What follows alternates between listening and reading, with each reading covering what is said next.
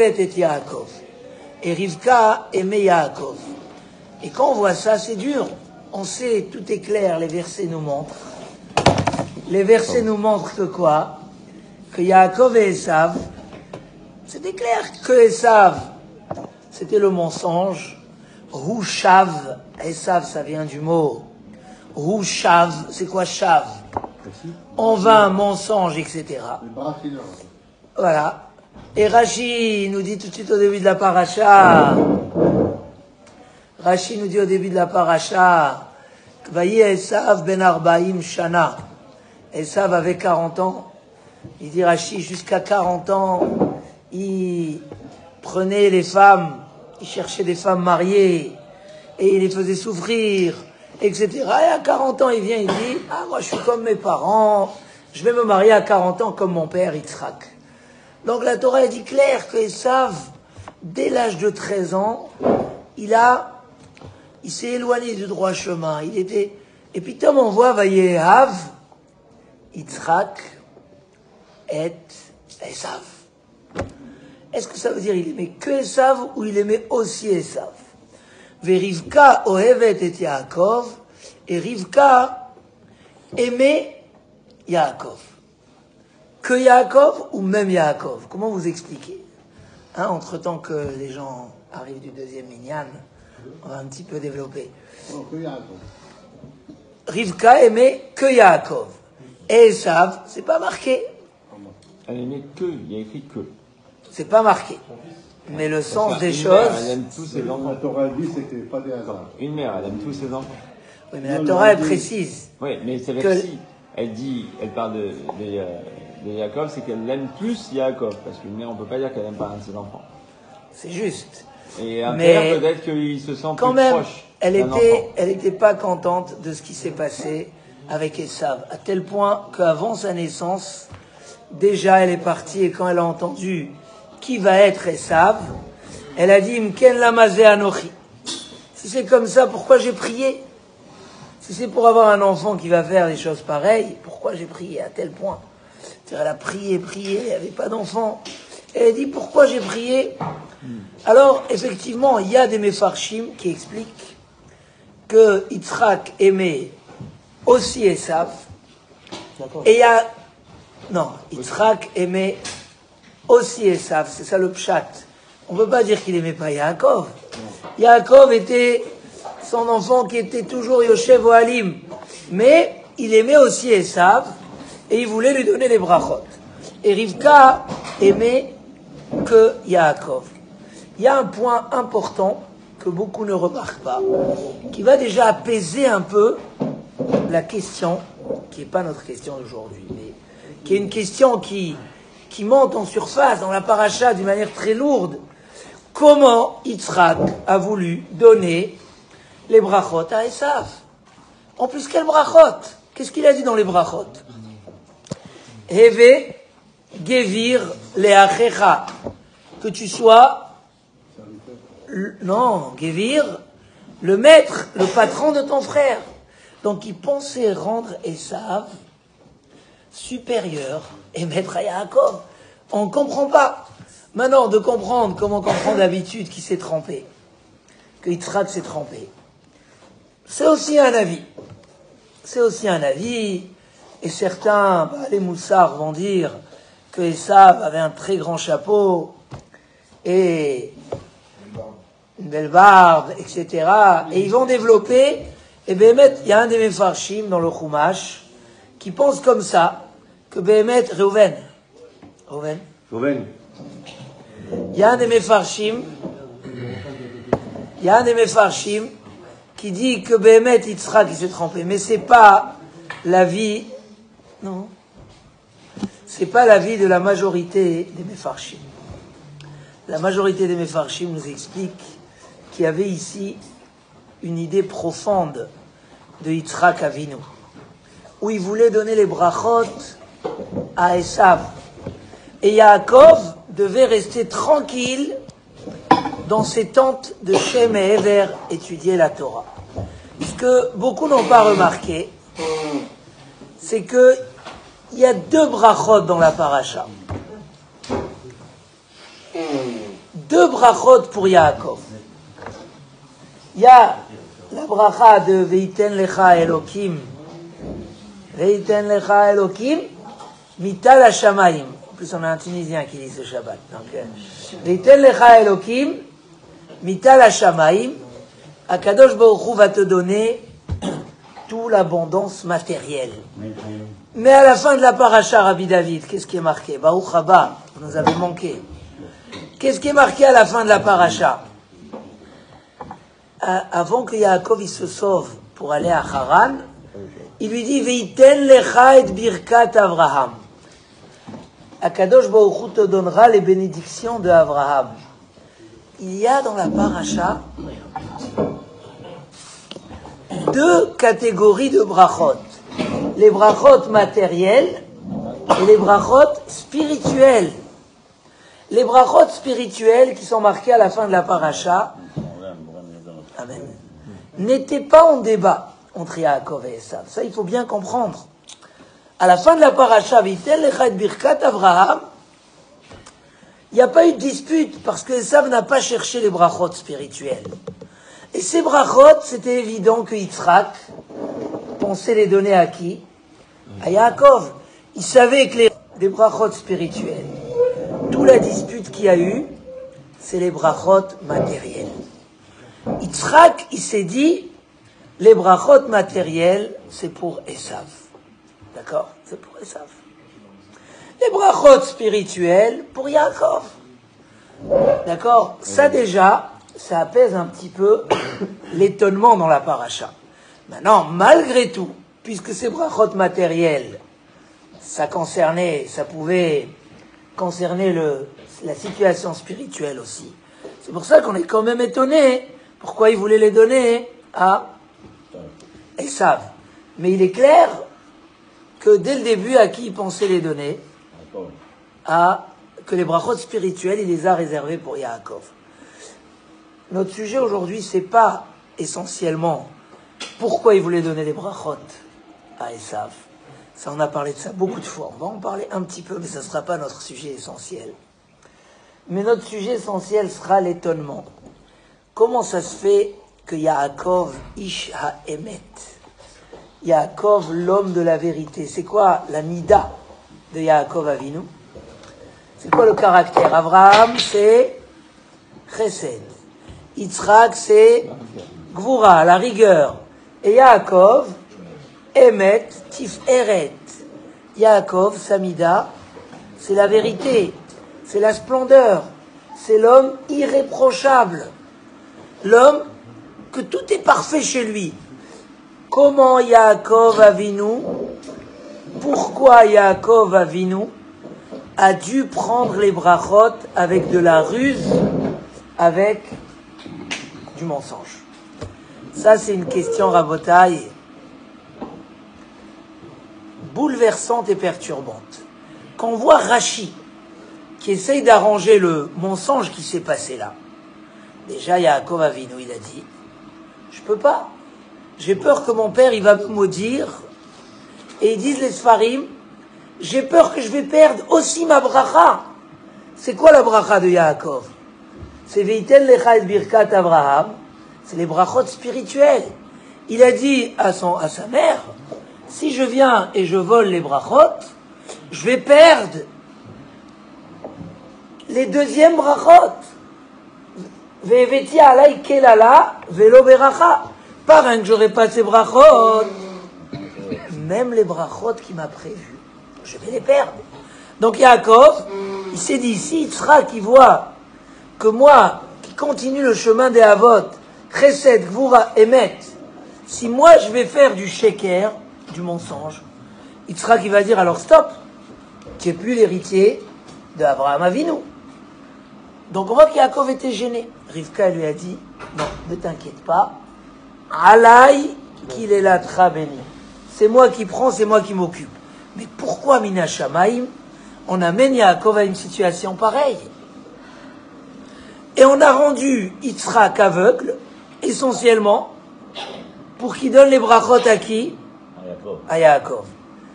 Alors tant qu'à faire, pourquoi ne pas sauver Yaakov et faire en sorte d'une autre manière que Yitzhak s'aperçoit pourquoi Yaakov a dû arriver à ça? Et quand Rachid essaye de réduire et dire il n'y a pas eu de mensonge de la part de Yaakov, on essaye de comprendre qu'est-ce qu'il veut Rachid. Parce que c'est marqué dans le Passouk Ba achicha bemirma. Ton frère est venu, c'est quoi bemirma? Avec ruse, et il a pris tes brachot. Qu'est-ce que Rachid traduit? Rachid c'est pshat d'abord, oui. Rachid explique le pshat. Comment Rachid traduit bemirma? Il prend le pshat du Targum bemirma bechochma. C'est pas de la ruse, il dit Rachid, c'est de la sagesse. Comprendre. Après, Rachid, sur tout le long des, des réponses que Yaakov a données à son père, Rachid nous montre comment Yaakov a fait très très attention de ne pas mentir. Quand il a dit Anochi Esav Bechorecha, je suis Esav ton premier-né, il dit Rachid, Yaakov il a fait un point. Anochi, tu me demandes c'est qui? C'est moi. Esav Bechorecha, Esav c'est ton premier-né. Et ainsi de suite, dans la, dans la suite, Rachid ramène plusieurs éléments comme ça, où Rachid dit non, il faut couper en deux. Et Yaakov a fait très très attention de pas mentir. Mais quand même, pourquoi, pourquoi il a dû en arriver là? C'est Mamash Pele Hatsum. Pourquoi il fallait prendre les brachot de cette manière-là? Il y a ici Rabotai, un Yesod Hatsum Bioter, que j'espère qu'on pourra descendre au bout de ce Yesod, un Yesod très utile. C'est Rav Dessler qui l'amène dans Chelek Dalet, qui explique un petit peu, qui répond à cette question, à une partie de ces questions. L'histoire du, de la vérité et du mensonge.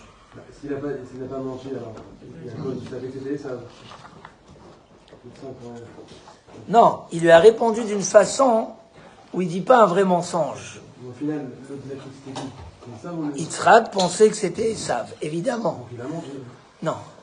Dans ses, dans ses paroles, il a dit, par exemple, il n'a pas dit je suis Esav. Il a dit Anochi, un point, Esav Vechorecha. Après, dans la suite de Rachi, encore plusieurs fois, Rachi découpe comme ça, pour dire il n'a pas dit un sheker. Il a fait en sorte que Yitzhak ne s'aperçoit pas. Mais quand même, on voit que les nations à Rome étaient tout le temps bouleversées de ce qu'a fait Yaakov. Et tous les ans, il prenait un homme boiteux, hein, et il mettait sur lui un homme qui marchait, il disait, qu'est-ce que le malin a gagné de se comporter avec ruse? On voit que pour eux, ils disaient, Yaakov, il a rusé. Et pourtant, c'est pas Samida. Comment c'est possible? Pourquoi il a dû arriver à ça? Alors c'est sûr que si on a amené Yaakov à ça, c'est que ça devait se passer comme ça. Avant de répondre, il y a un midrash qui a l'air de montrer que ce que Yaakov il a dû se sauver et aller en Babel, c'est un genre de galoute. Comme quand quelqu'un est tué sans faire exprès. Il devait aller en exil. Yaakov, il a dû aller en exil. Hein, Yaakov.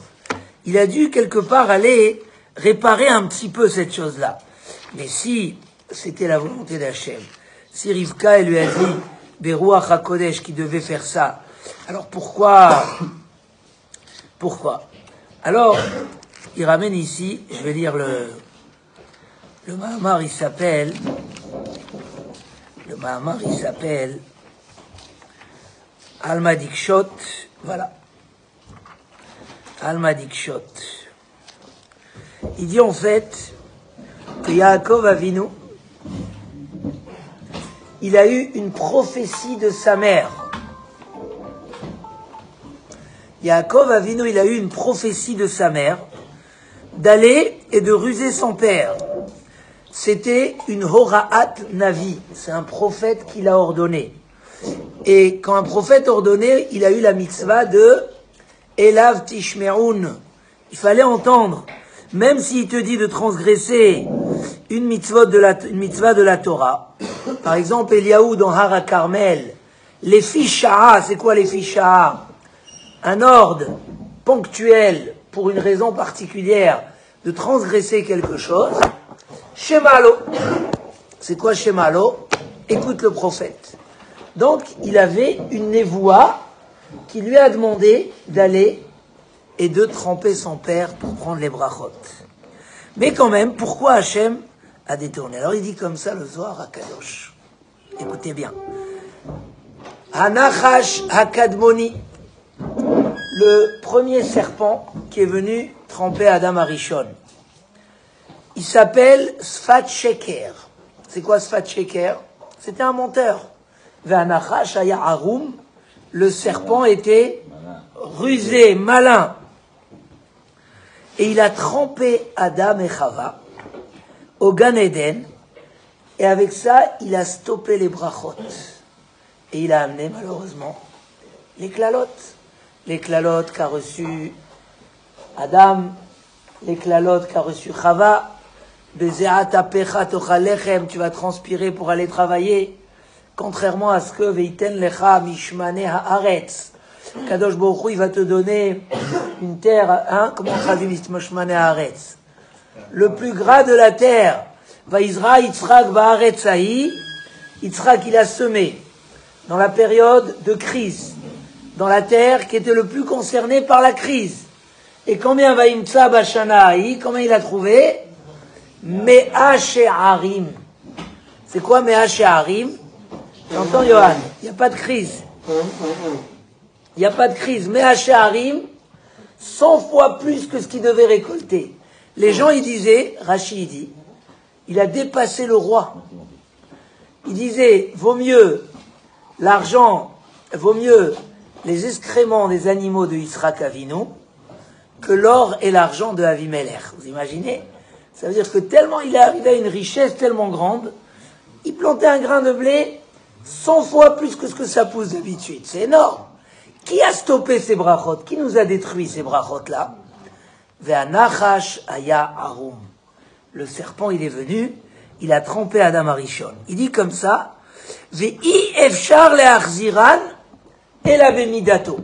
Pour ramener les brachot dans le monde, ramener les brachot au clan Israël, il fallait utiliser la mida du serpent. Ve'yaakov ba bechuchmata. Et il a trempé son père, il a pris les brachot du serpent, il les a amenés dans le monde, mesure contre mesure. Voilà ce que dit le Zohar à Kadosh. faut comprendre, c'est, c'est pélé. Ça veut dire qu'il n'y avait pas, c'était prévu, ça devait se faire comme ça. Ça pouvait pas, on pouvait pas venir prendre les brachot normal. Fallait faire exactement, utiliser la méthode qu'a utilisé le serpent. Si Yaakov il venait avec Samida, il n'aurait pas pu accéder, il n'aurait pas pu accéder au brachot. Donc il y a eu une prophétie. On a laissé en sorte que il pense que c'est Esav.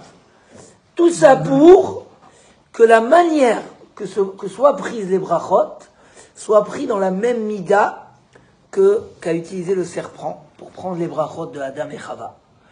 Donc, Vanachashaya Arum, s'il avait la qualité qu'il était malin, c'est qu'il était très intelligent. L'intelligence, elle a un but, mais on peut l'utiliser pour le bien, on peut l'utiliser pour le mal. Vu que le serpent a volé les brachot en utilisant sa sagesse par le mal, donc c'est plus, c'était plus de la sagesse, c'était de la ruse. Yaakov Avinu, il a dû venir dans sa mida. Ça veut dire quoi? Comment on peut comprendre ça? Alors on va aller, puisqu'il est, je vois que il est un peu tard, on est au aujourd'hui. On peut comprendre, il expliquera Dessler comme ça. Yaakov Avinu, c'est Midat Emet. Donc dans Midat Emet, si je dis à quelqu'un, qu'est-ce que tu choisis aujourd'hui? Tu préfères aller travailler ou rester étudier? Fais un calcul, il dit, quand j'étudie, j'ai des milliers de mitzvot. Quand je vais travailler, je gagne tant et tant par jour. Ça se compare même pas. Comment je peux, comment je peux, un homme qui est dans Midat Emet, à 100%, il va pas se laisser de place pour utiliser le matériel. Et bien, c'est ce que Yitzhak Avinu il pensait. Il disait, Yaakov Avinu, ça l'intéresse pas le matériel. Il a rien besoin. Ah, il va dépendre de Esav. Pour lui, ça serait un bonheur. Il est prêt même à être serviteur de Esav. Mais laisse-le tranquille pour avoir toute sa journée, toute sa tranquillité pour être au Védet. Est-ce qu'il a besoin? Il va demander à Esav Gamarno. Le monde, c'est Sheker.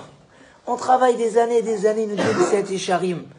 Et le bonheur, on est encore en train de le chercher. Un sur mille ne peut pas dire et confirmer je suis un homme heureux, j'ai aucun problème. La vie, elle a l'air de nous promettre de belles choses, mais au final, on ne fait que survivre. On se bat pour avoir les moyens de vivre, mais le bonheur, il est où? On est en train de le chercher, on ne le trouve pas. Et quand même qu'on avance et on avance, il n'y a pas. On a raconté l'autre jour, quand on faisait le Messiah Sharim, le roi qui, a, qui, qui cherchait la vérité. Et que du coup, il est arrivé à une dépression totale. Il trouvait pas dans tout ce qu'il faisait, il voyait que du mensonge. Les gens, ils lui tapaient les mains, ils se disaient, mais qu'est-ce qu'ils veulent dans leur cœur? Ils veulent que mon argent. Donc ce roi est tombé en dépression. Et un jour, il, un médecin, il lui a dit, tu sais que ta guérison, c'est quoi? C'est quoi la guérison? C'est, c'est une histoire connue. La chemise d'un homme qui est heureux. Si un homme il est heureux, il n'a aucun souci, tu prends sa chemise, c'est comme ça que tu vas guérir. Alors le roi, il est parti. Et il a vu, il a cherché les gens les plus riches, les princes, les ministres, les gens les plus importants de son royaume. Il leur a demandé, nous, est-ce que toi, tu es heureux?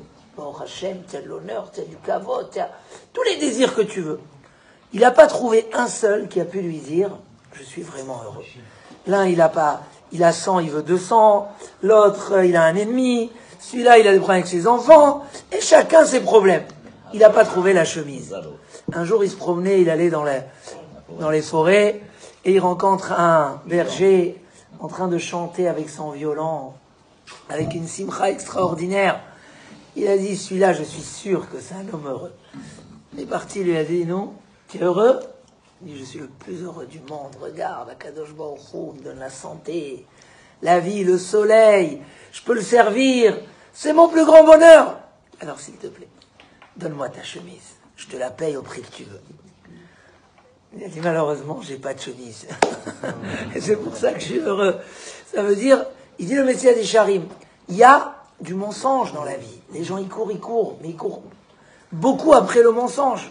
Si c'est pas qu'on donne une raison spirituelle à tous nos efforts, il dit le Messie des Charim, on est loin du bonheur. Quand tout ça, ça devient un moyen pour le vrai bonheur, alors l'homme, il dit, ah, c'est quoi mon bonheur? Un peu plus, un peu moins, ça change pas, c'est qu'un moyen. Je ne focalise pas ma vie sur les moyens, je focalise sur les résultats, sur le but. Le but, oui, ça va très bien, au Hachem, je peux me lever le matin, courir faire la tfila, je peux étudier, je peux amener mes enfants à l'école, même si je reste une heure dans les embouteillages, mais c'est un bonheur, et ainsi de suite. Ah, alors, ah, mais le reste, le reste c'est secondaire, ça m'attriste pas. C'est uniquement comme ça qu'on peut trouver par le émet, c'est là où on peut trouver le bonheur. Malgré tout, malgré tout, Yaakov Avinu devait, devait quand même s'occuper du monde matériel. Esav a échoué sa mission. Donc, Rivka, elle a dit, il faut que Yaakov ait des brachot aussi matériels, pas que les brachot de la fin de la paracha. Il a besoin aussi des brachot matériels, il a besoin des moyens parce que Esav ne lui donnera pas. À la base, Esav, il est né en même temps que Yaakov. Théomim. Et pourquoi la Torah elle a été donnée dans le mois où le Mazal, c'est Théomim, les jumeaux, pour dire que la Torah elle était pour les deux. Et Yaakov devait être, et savent qu'il est né aussi dans le même miracle que Yaakov, devait être son support. Mais vu qu'il a échoué sa mission, alors on devait donner ces brachot-là matériels à, à qui? À Yaakov. Mais ça ne correspond pas à son niveau. Donc Yaakov, il est obligé, quelque part, de voler ses brachot. Ça veut dire quoi? Ça Yaakov, il est obligé de passer par derrière pour que même quand il s'occupe du matériel, savoir le voler du serpent. Rendre le matériel pas un élément qui nous éloigne d'Akadosh Baruch qui nous amène à la révolte, qui détruit nos brachot, comme l'a fait le serpent à Adam et Chava. mais lui prendre d'une manière où en fait c'est pas ma vérité, c'est pas la mienne, mais je l'utilise avec sagesse pour qu'elle soit la mienne aussi. Donc ça, c'est une sortie de l'amida de Yaakov Avinu. C'est ça quand on dit qu'il a dû ruser les prendre. C'est quoi ruser les prendre? Ça veut dire la manière, ça devait pas être le normal. Les brachot, c'est pour Yaakov. Yaakov, il a rien à faire avec le matériel. Mais on lui demande de prendre aussi le matériel et de s'occuper de lui. Et donc, ça passe par la normale. Quelqu'un qui va et il sort et dans son travail, il pense à de la Torah et il organise un minyan de mincha et il compte tous les fins de mois son maaser. C'est pas normal. C'est, il ruse. Il est en train de voler du matériel, ce qu'est le matériel du serpent, pour le rendre le matériel lié au spirituel. C'est ça la mirma, c'est ça la chorma. Donc c'était ça les brachot. Si Yaakov il venait, il les recevait naturellement. Ça veut dire que Yaakov il se divisait en deux. Un côté matériel, un côté spirituel. Yaakov ne pouvait pas. Il n'était pas fait pour ça. Lui c'était le Hémet. J'ai le temps pour du mensonge. J'ai le temps de rester comme ça au marché deux heures en train. Mais moi je suis en train de. J'ai pas rien à faire. Demande mon ordinateur, j'ai rien à faire moi. Maneshama, là, elle a soif, elle veut étudier. Mais quoi? Yaakov, il a pris cette mida-là. Il a su la prendre. Bemirma. Ça veut dire que oui, on va aller dans le matériel. Mais on va faire de ça quelque chose de kadosh. On va le voler du Satan. C'est énorme, c'est extraordinaire. Et ça, c'est pas facile. Et là, j'arrive à un yesod très chachouv. C'est pas facile, parce que quand on est là-bas, le Satan, il n'est pas d'accord. Le Yetzerara, tu crois qu'il est d'accord, Yetzerara, il dit ok. Quand tu es à la synagogue, je te laisse, laisse-moi tranquille. Mais quand tu es chez moi, tu es chez moi, Gamarlon. Et Béhémet, il y a des gens comme ça. Et le Yetzerara, souvent, il arrive à nous. Tu vois un homme que quand il est à Tfila, il est Bekavana. Mais quand il est à la plage, il est à côté de gens. Mais attends, c'est toi, tu t'appelles Yaakov, je t'ai vu prier hier comme ça avec Kavana. Alors quand tu es là, tu es là, et quand tu es là-bas, tu es là-bas. Ah, c'est ça que le Satan il veut. Il dit bon, si j'arrive pas à te faire sortir complètement du Beth Midrash, mais au moins, comme tu as dit hier, Rabbi il envoie, va au cinéma, perds ton temps, regarde des bêtises. Parce que quand tu es chez moi, tu es chez moi. Et là, Yaakov Avinu, il a dit, c'était ça la prophétie. Vayarach edreach begadav il a senti l'odeur de ses habits. Ils disent Razal, mais c'était, il est venu, il a égorgé des, des animaux, ça sent mauvais. Les Faizim, il a senti l'odeur du Gan Eden. Razal, ils disent que Begadav, c'est Bogdav. Begadav, c'est la même racine que les traîtres. Que même les traîtres du clan Israël, dès qu'ils se réveillent, ils font une chouva, comme Yosef Meshita, et Yakoum Ishtrorot, des gens qui étaient loin, loin, loin. Ils étaient révoltés même. Ils sont allés. L'autre, il est rentré au Beth Amikdash pour prendre la menorah, alors que les Romains, ils ont eu peur de le faire. Il a fait une chouva exceptionnelle. Yaakov, il a vu, et Yitzhak, il a compris que Yaakov, il est venu prendre les brachot. Pourquoi? Parce qu'il est venu maintenant faire en sorte que même quand un Ben Israël, il faute, il y a tout le temps, il sera un jour prendre sa faute et la rendre un mérite. Il fera une tchouva me'ava. Il sera, même quand il va aller dans le matériel, quand il va descendre dans l'obscurité, il sera là-bas allumer la lumière. Il sera éclairé, il sera trouvé comment faire. Et là, c'est tout le débat. Là, c'est dangereux. Tant que Yaakov n'a pas fait ce qu'il a fait, ce qu'il va dire tout de suite Rav Dessler, il était en danger. C'est pas facile. Tu peux prendre des fois même quelqu'un qui a fait 10 ans d'eshiva tu le fais sortir, tu le mets dans le matériel. Et lui, il dit, mais c'est que pour, servir Hachem, pour des mitzvot. Il est dans un danger terrible. Parce que le Satan, il est là, le Yetzerara, il est là pour couper le cordon et le séparer de la vérité. Et il est dans le bon endroit pour le faire. Il est dans le, dans le matériel, dans l'état à vote. Qu'est-ce qu'il a fait, Yaakov? Il n'était pas tranquille de ce qu'il a fait. Jusqu'à qu'il est parti. Et il s'est enfoui Nitman, comment on va traduire Nitman? Il s'est, hein Il s'est Nitman, il s'est caché dans la maison de Cher à Ever. 14 ans. avant d'aller faire son travail.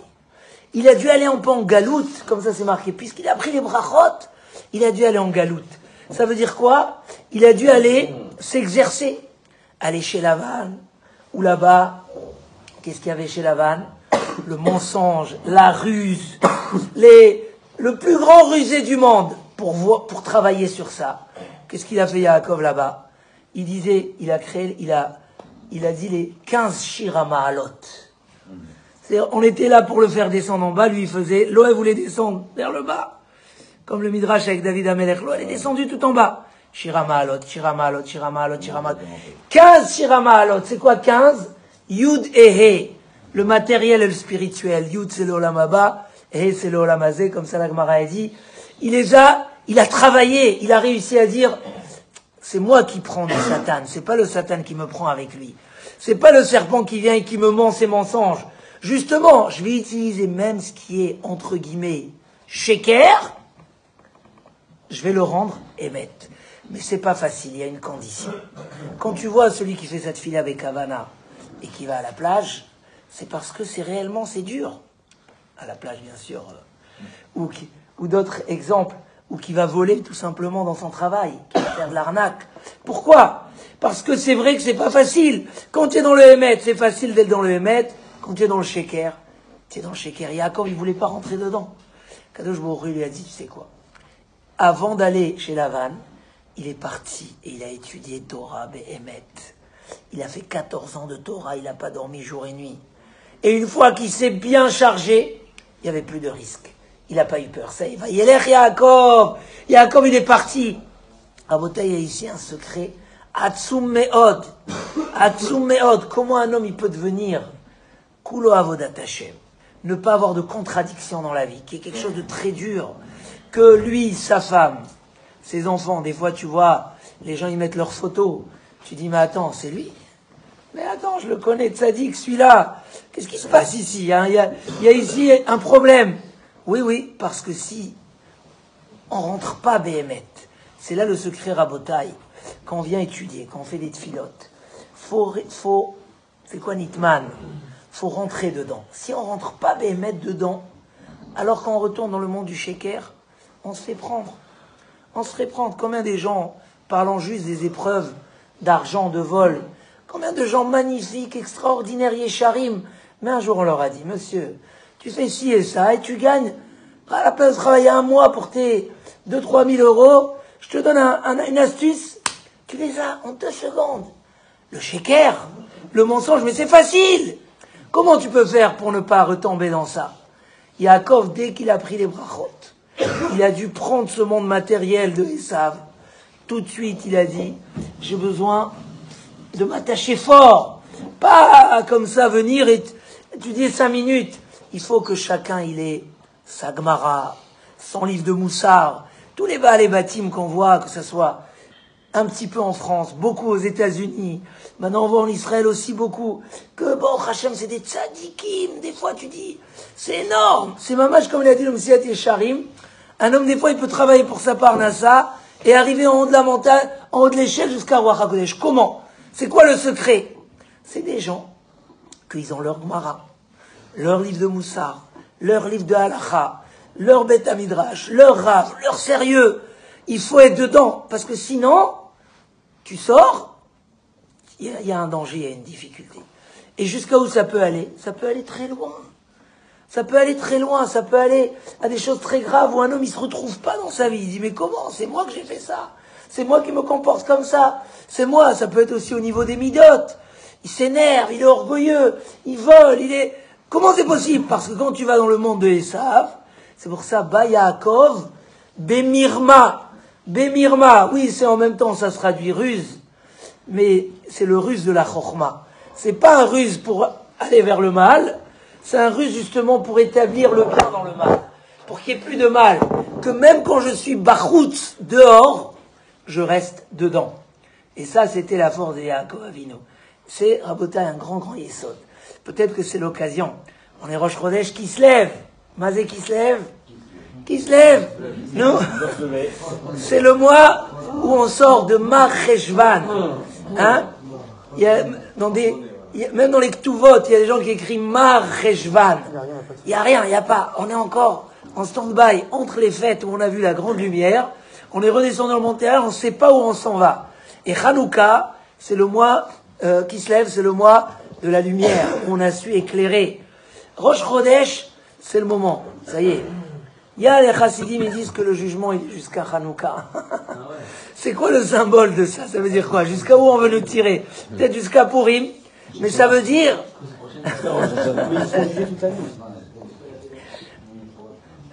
Ça veut dire quoi? Ça veut dire quoi, Rabotai? Ça veut dire que faut savoir, le Yetzara, il est très dur, il s'arrête jamais. On est sûr de rien. Un jour, il peut complètement te faire sortir. Du jour au lendemain, ah, j'ai un nouveau travail, je peux plus venir à la tfila. Ah, j'ai un nouveau travail, je peux pas, je peux pas étudier. On n'est pas sûr de nous-mêmes tant qu'on n'a pas bien, bien relayé, qu'on n'a pas bien relayé les deux mondes l'un avec l'autre, comme l'a fait Yaakov Avinu, et savoir que le Satan ne peut plus se moquer de toi. Quand Yosef Hatzadik, le Satan est venu lui a proposé la Havera, c'est marqué Pitpet Beitzro. C'est quoi Pitpet? Il dit Rashi. Zilzel, il s'est moqué de son etc. C'est comme celui qui vient te vendre la bague là. Il te dit, c'est une bague en or, rien que 2000 euros, rien que 2000 euros. Il dit, arrête, arrête. C'est pas à moi que tu vas me, me vendre. C'est pas à moi. que- Le Yitzhara, faut qu'on arrive à un matzav où Gamarnou, on a joué avec lui le malin, on est les plus grands chachamim, et ça, c'était la avoda de Yaakov Avinu. Et c'est pour ça, donc je, répète la réponse, qu'elle n'est pas facile à retenir. Ça pouvait pas être par une voie naturelle. Parce que là, ça aurait montré que c'est la mida naturelle de Yaakov. C'est pas vrai, Yaakov, il n'est pas prêt à passer une seconde pour aller planter, semer un, un terrain. C'est pas, pour lui, c'est une perte de temps. Donc il n'y avait pas ça dans Yaakov Avinu. Mais il a dû prendre ça, Bechoukmata, et l'intégrer, et c'est pour ça que ça s'est fait de cette manière-là. Et quand il a senti les habits, il a dit, ah, je vois que chez Yaakov, il n'y a pas, même quand ça descend de la route, Yaakov, il ramène ça dans la vraie route. Même les Bogdim savent tchouva. Et donc il a dit, Gambarouchier, qu'il soit béni. Alors Baruch Hashem, nous quand on est là, même un vendredi des plus courts, Shabbat il rentre et il y a même certains qui bougent beaucoup sur leur chaise, tellement ils disent, mais c'est l'heure.